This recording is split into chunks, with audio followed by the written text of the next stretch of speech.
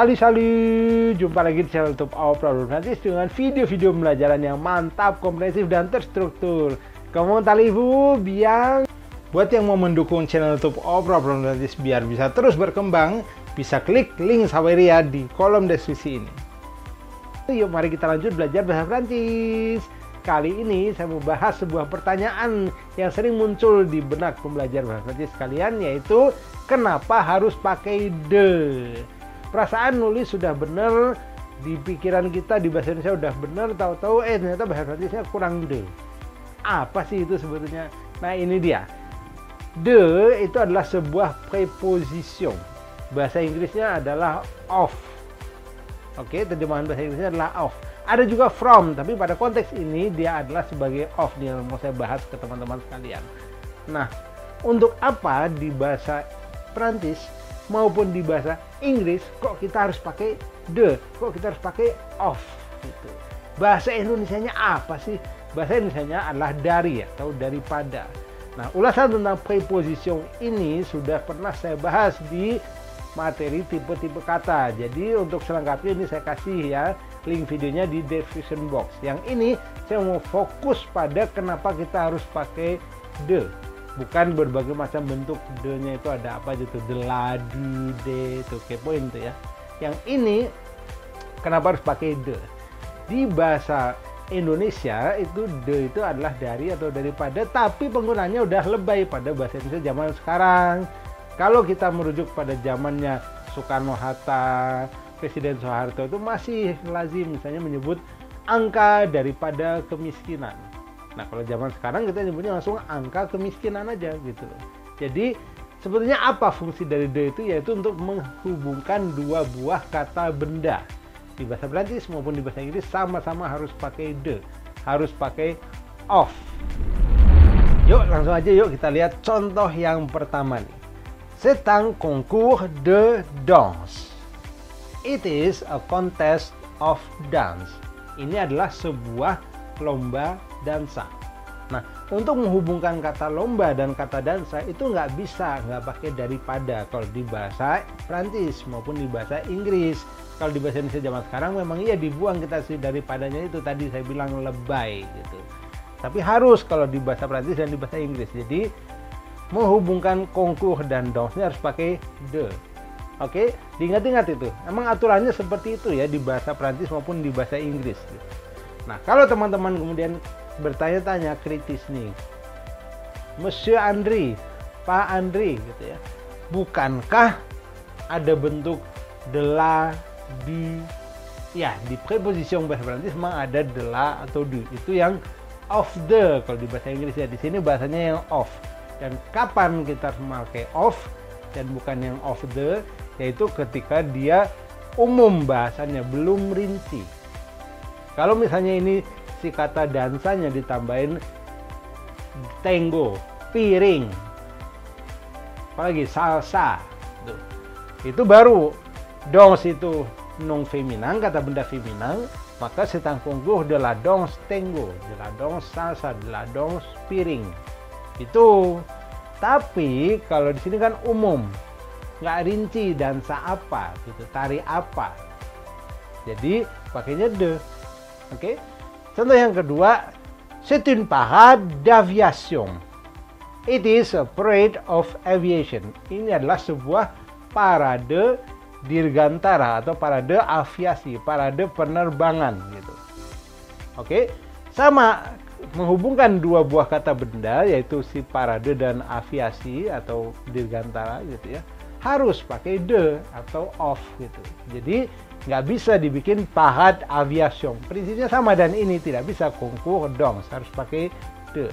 Dan ini umum, jadi kita pakainya yang de dan bukan bentuk de la, du, de. Kepoin deh tuh di video tipe-tipe kata yang membahas preposition seutuhnya, preposition de. Ya, jadi teman-teman lebih jelas lagi. Yang belum nonton makanya tonton video itu tuh. Ada di description box. Lihat di sini pakainya bukan de persis tapi de apostrof. Dan kenapa itu? Karena si aviation ini meskipun sama-sama dipakai dalam bentuk umum seperti halnya dongs tapi dia dari huruf hidup. Jadi kata yang dari huruf hidup itu pakainya preposition yang D apostrof dan bukan de. Karena orang-orang francophone tidak suka ketika vokal ketemu vokal. Une parade de aviation de aviation ya. Jadi harus pakai de dalam bentuk d apostrof nah perhatikan juga ini si ang sama unnya gender kata bendanya ini penting kalau ini dua buah kata benda yang disambung kalau ini bukan ini si e atau n-nya Nah, jadi main gender kalau di bahasa Prancis ya beda dengan di bahasa Inggris yaitu main gender. Pahat ini non feminang, maka pakainya un. Tahu dari mana ini non feminang? Akhirannya e. Si kongku udah ketahuan bahwasanya ini non maskulan karena apa? Akhirannya bukan e. Tuh, jadi pakainya yang ang. Oke. Kalau dalam bentuk de-nya ya ini akan pakai le, ini akan pakai la. Gitu.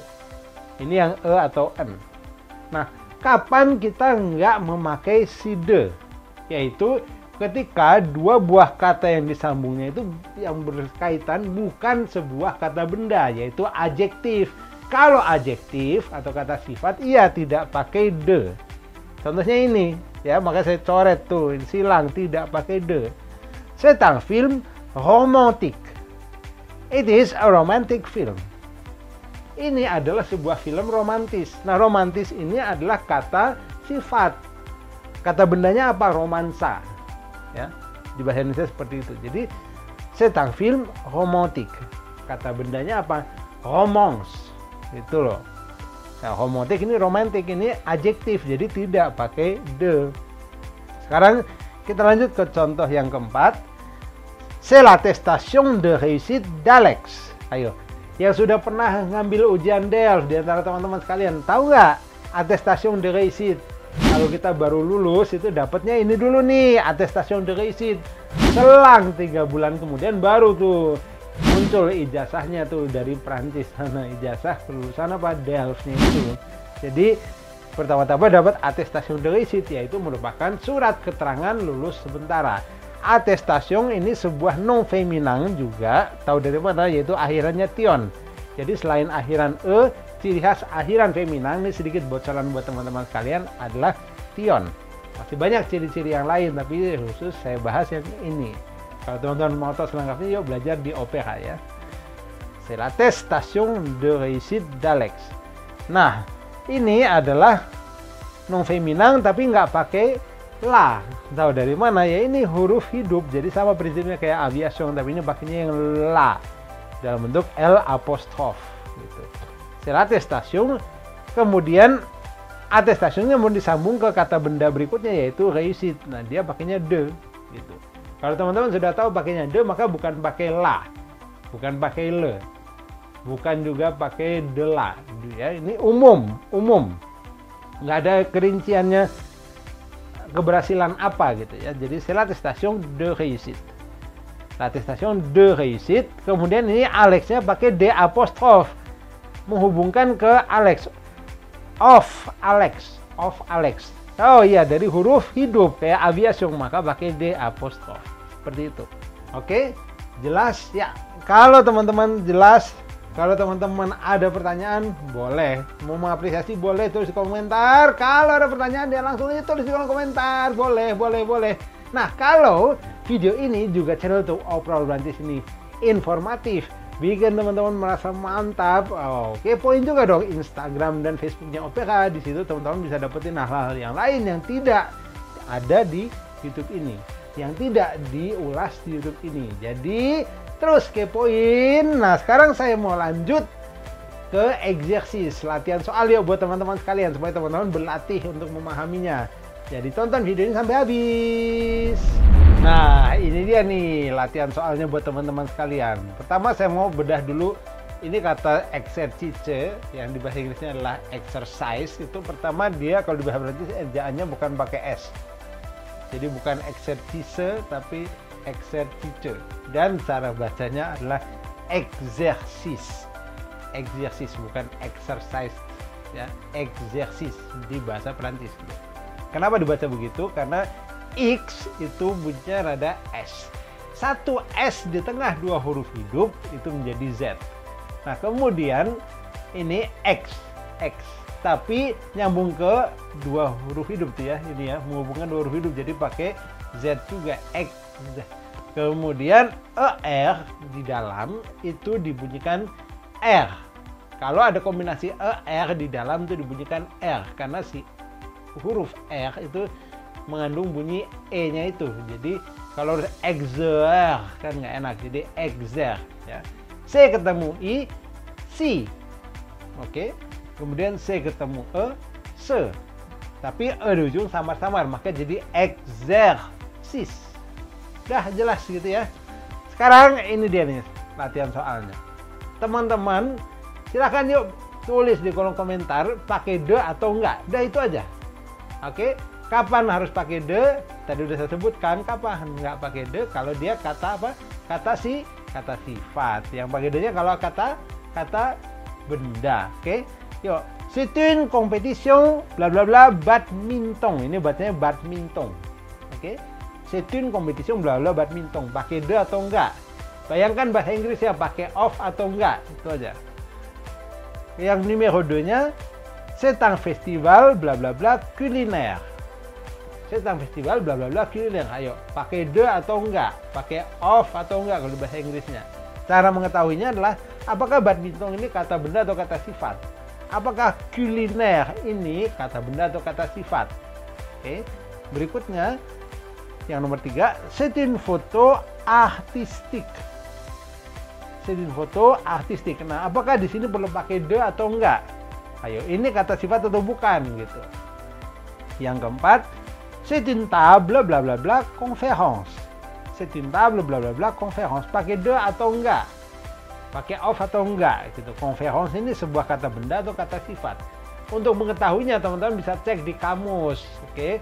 Cek di kamus bahasa Prancis. Ada kamus yang bisa saya sarankan nih kamus Lahus, La Rose atau kamus Le Petit Robert, Le Petit Robert bisa di situ.